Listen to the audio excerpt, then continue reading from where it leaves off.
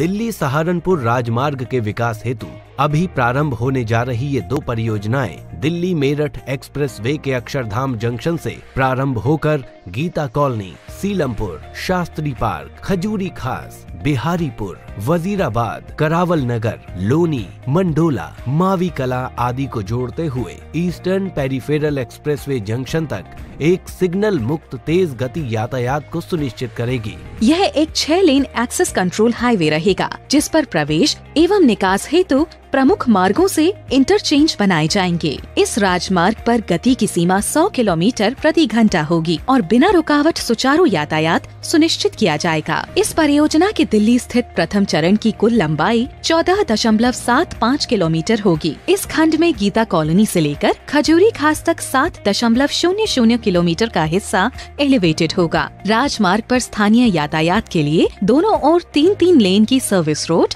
और पैदल यात्रियों एवं छोटे वाहनों के लिए पाँच अंडरपास बनाए जाएँगे। यह राजमार्ग दिल्ली शाहदरा एवं नई दिल्ली आनंद विहार रेलवे लाइन और Shahdara ISBT metro red line को पार करेगा। इस भाग में 10 बड़े व 15 छोटे जंक्शन का विकास किया जाएगा। उत्तर प्रदेश राज्य में योजना के द्वितीय चरण की लंबाई सोलह दशमलव पाँच सात किलोमीटर होगी। इस भाग में माबी पुस्ता पुलिस चौकी से मावी गाँव तक बारह दशमलव दो शून्य किलोमीटर लंबाई का भाग एलिवेटेड होगा।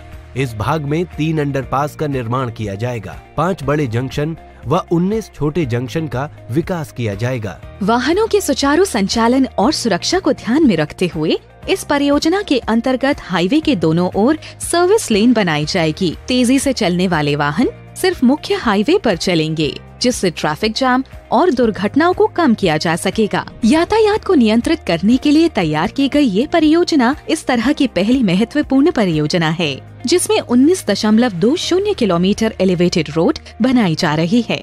धन्यवाद। National Highway Authority of India not just road building a nation